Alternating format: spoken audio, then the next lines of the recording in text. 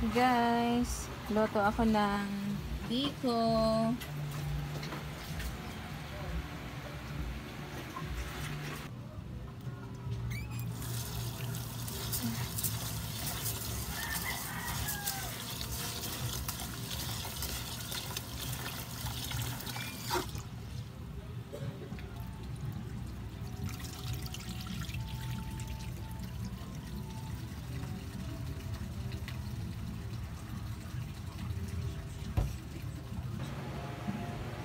Guys, yan na ang biko ko.